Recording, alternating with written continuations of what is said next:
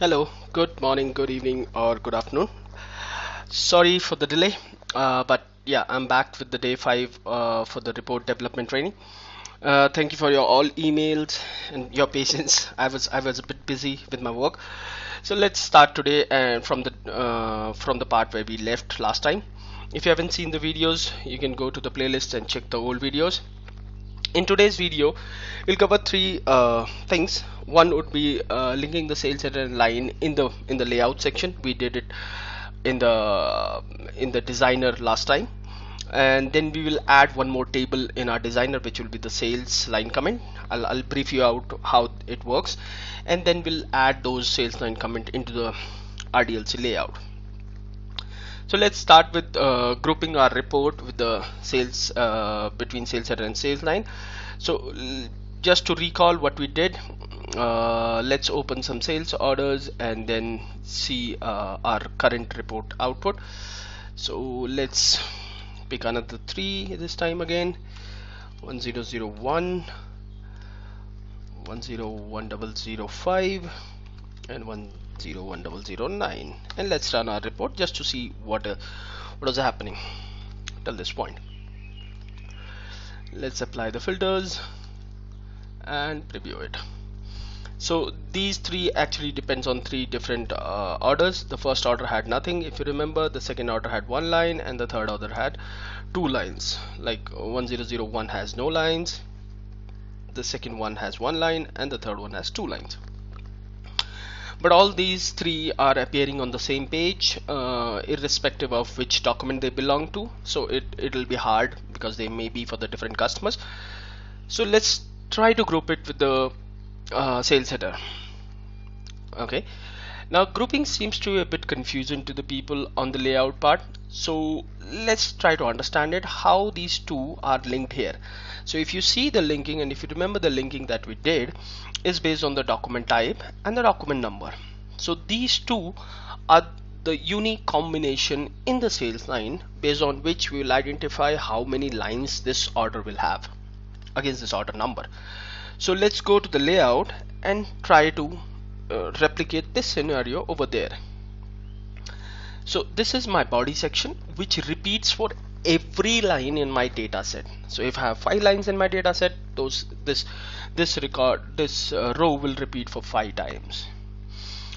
Now I want to kind of uh, club these lines based on the order number that is there right? And just now we saw that the sales line is linked with the sales header based on document type and document number of the sales line.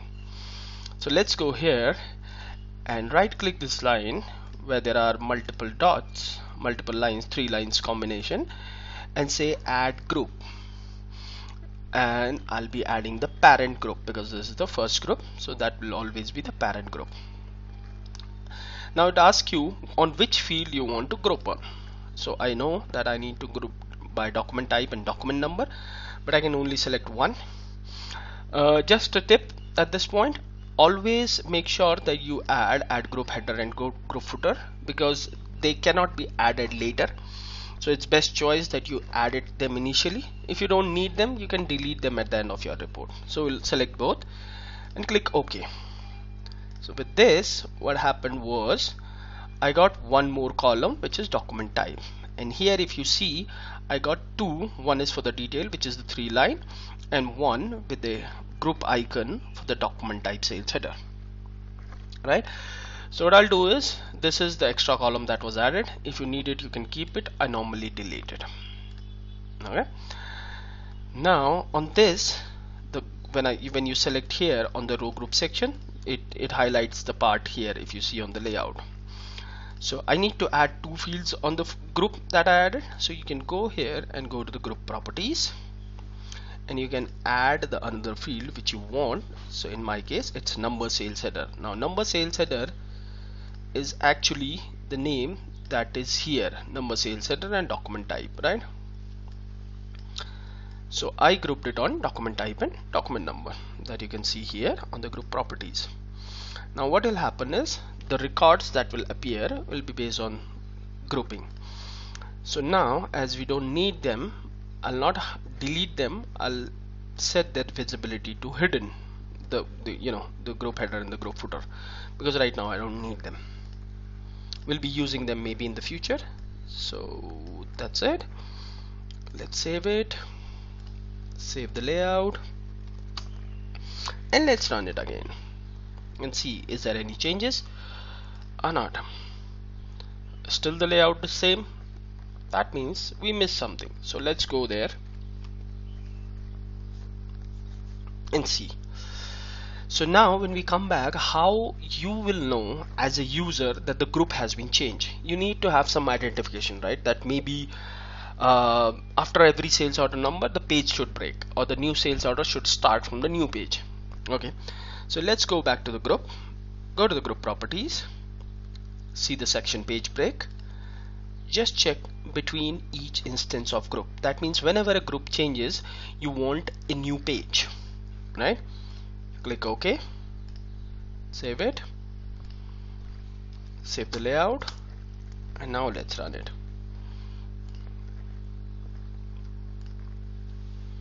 So if you see there are two pages generated. One contain the one line which is 101005 and the second contain two lines. It is not containing header. We'll sort it out later. Don't worry about it.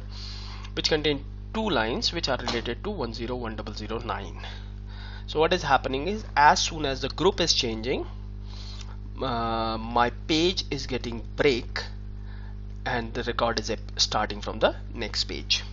Don't worry about the header. We'll sort it out. Just understand the concept of grouping. This this particular session is only to understand grouping.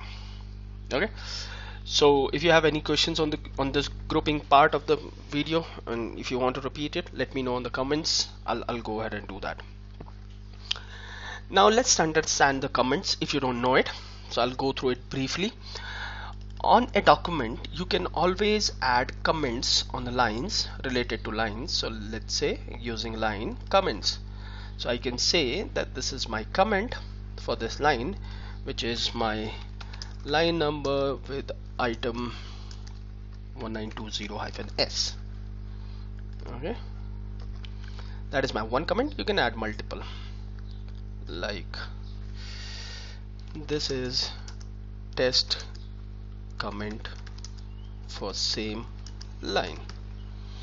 Okay.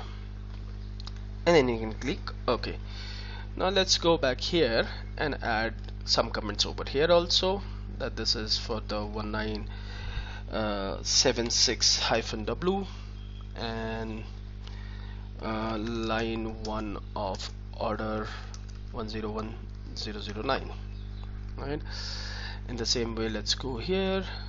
Line comments for 1964W and line comment for line number 2 okay.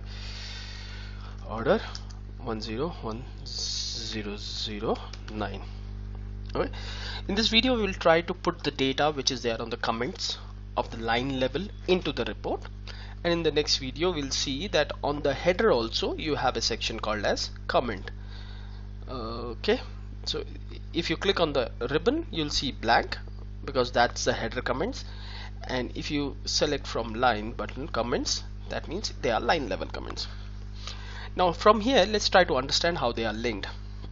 So if I go here about this page it tells me the linking here which says it is based on the document type the, the number and the document line number. That means line number of the sales line will be same as of sales line on this table the document type the sales line and the document number so based on three fields this is linked to the sales line. So let's go back to the uh, developer environment R report and let's try to add that. So I need to add that but I need to know the table number. You can always go there and from about this page you can see the table number as in sales comment line. But if you don't know it you can always go and check that the, the source table is 44 okay so let's go here and add the table 44 if you see automatically when I add it it is indented to sales line. Okay? And the field which I want from the sales comment line will be the comment. Uh, other fields you might not see based on the, your country localization but these uh, top 4 5 you'll see everywhere. Okay. So I added the comment so let's see the layout and then we will go towards uh, let's see the data set and then we'll go toward adding it to the layout. So for seeing the data set what we do is we do about this page we preview the report and we again go about this report. Now if you see as soon as we added that thing the number of lines increased. And why that is? If you see for order number 101005 which has one item. Now I'm getting these many rows the same item. And what is that? Everything. What we missed. Did we miss something? Think about it. This is just a recap of what we did. If you see the same kind of comments are repeating for every line. So that means we did something wrong in our designer. So let's go back and see the properties of this data item. Did you link it to the sales line? No if you don't link it with the sales line then it'll bring all the data for each sales line as we discussed into the last video. So it is indented to sales line and here is the link. So what is the link that we uh, read over there is the document type uh, number and the line number of the sales comment line. Here I'll fill the sales line field. Document type number is linked to document number and line number is so this is here it was not line number my bad it was document line number. You can check it there again if you want and line number. So this will only bring now the sales comment line related to the that particular order. I'll I'll confirm you that. That if you go here and if you see the properties you'll see that it is grouped on document line number number and document type the way we grouped it into the report right now. Okay document type number and document line number. Okay let's see the data set. So before modifying the layout it always suggested that you should be buying in what is there in the uh, in the data set. If you are not agreeing with the data set then you might have done something wrong somewhere. So now you see 1920s is appearing twice with a simple fact because there are two comments to it. Okay?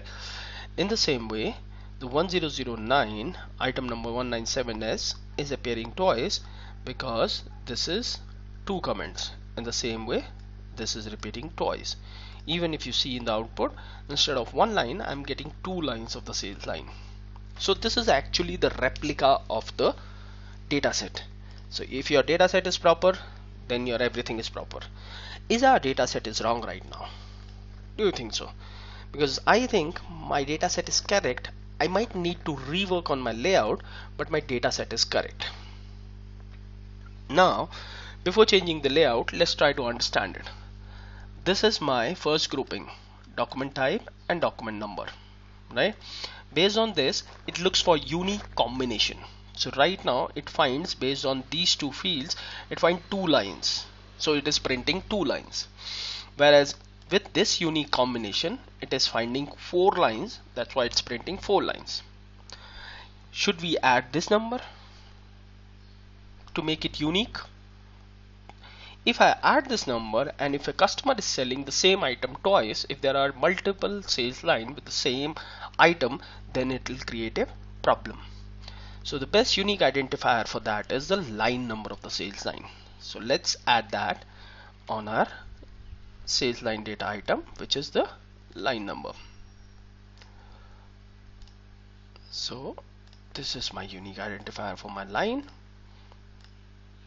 This is added. This is called as oh it was already there. Oh, no two were added so I'll delete one. And this is my line number which is my this now if I think about it my parent group which is grouping the whole report based on the document type and number is actually correct. Right? There is no problem in that part. Uh, it was bringing everything in.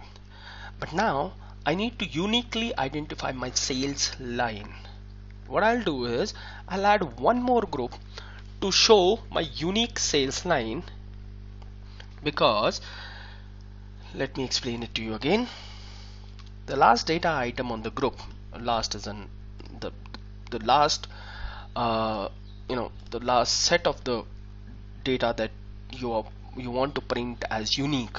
So this is what you want to print as unique right right now for each sales line that need to be on those three dotted lines which is your uh, body line. Everything else should be on some grouping some sort of grouping okay? So this should be appearing on that line so actually I have to some way identify if you see now group it based on the line number. So till this point these three fields are my on my header which are grouped correctly. From here till here it's my sales line.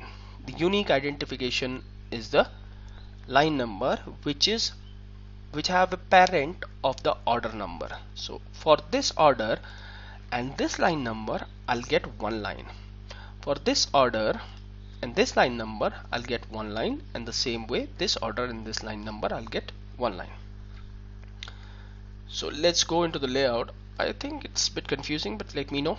I'll, I'll again rework on it if required. I'll add a group. Now you cannot add it here or right? Or if you want you can add it here. But I'll add it from here. It makes sense to me. Add group. Now I want to add a child group to my sales header group. Okay so let's let me rename this. This is my sales header group.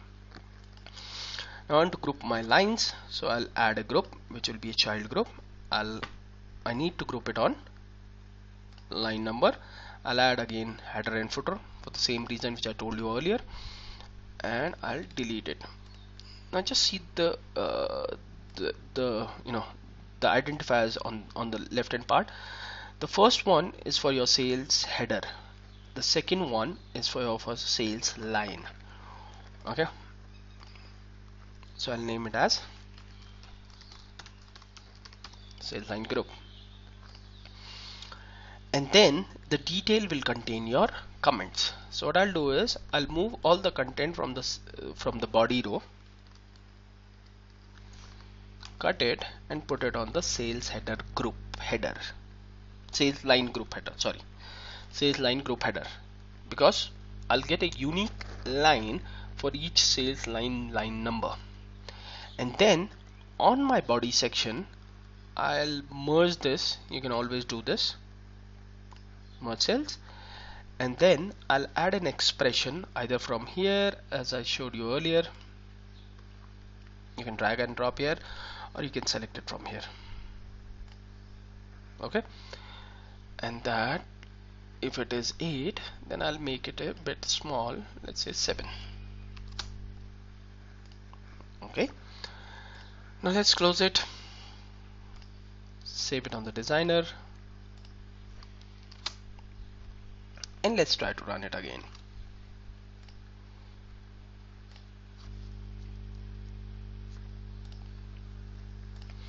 now this is again printing two lines. On the first line which is related to 1005 these are the two line comments. Okay? On the second page for the first line I get two comments and the, for the second line I again get two comments. So in this particular session we understand how to use uh, groups how to break pages between the groups how to add multiple tables into the designer and how to print them you know in the layout how to update the layout.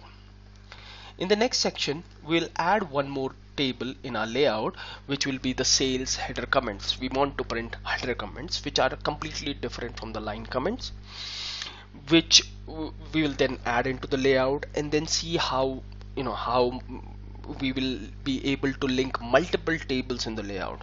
So in the next video we'll have two tables in our designer itself and we'll try to link them to print them in a set. Okay? If you have any comments views if you don't understand the grouping concept let me know on the comment section. I'll revisit the topic again with maybe a simpler example. And if it makes sense please also let me know on the comments. I'll be happy to hear from you that's all for today. Keep watching and I'll be back as soon as possible. Thank you